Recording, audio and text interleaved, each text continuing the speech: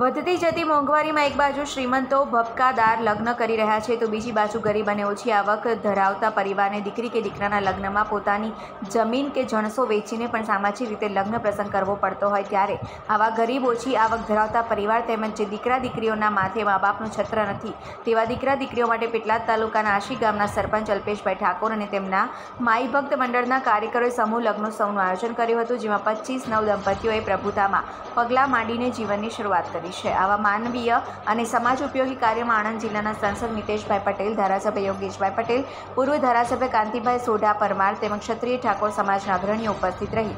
સમૂહ લગ્નોત્સવને સફળ બનાવી નવદંપતીઓને આશીર્વાદ આપ્યા હતા. શૈલેષ પટેલ છે. મારી બાજુમાં ઉભેલા અલ્પેશભાઈ ઠાકોર એ આસી ગામના સરપંચ છે. બાજુમાં ઉભેલા જયંતિભાઈ ડાભી જે ડેપ્યુટી સરપંચ છે. અને પાછળ જે છે મહેશભાઈ ડાભી છે, એ કાર્યકર છે સક્રિય. હવે આ ઠાકોર સમાજમાં જે ઓછી આવકવાળી દીકરીઓ હોય, જેના મા બાપે છત્રછાયા ગુમાવી હોય, એવી આ દીકરીઓ માટે અમે આ તૃતીય સમૂહ લગ્નનું આયોજન કરેલું છે. આ સમૂહ લગ્નનું આયોજન એટલા માટે કર્યું છે કે ગરીબ દીકરીઓને મા બાપને ઓછા, બિલકુલ નિઃશુલ્ક લગ્નનો પ્રસંગ ઉજવાઈ જાય અને બધી દીકરીઓને શાંતિ થાય, એ ઉદ્દેશથી અમે આ પ્રસંગનું આયોજન કરેલ છે.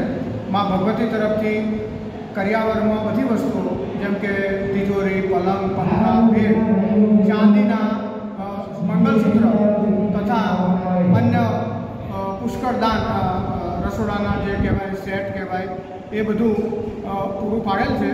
અને આ પ્રસંગ નિમિત્તે આ પ્રસંગ નિમિત્તે માનનીય શ્રી બકાભાઈ સાંસદ દંડક શ્રી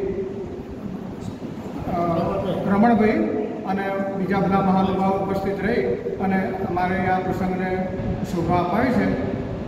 અમે એમનો ખૂબ ખૂબ આભાર વ્યક્ત કરીએ છીએ.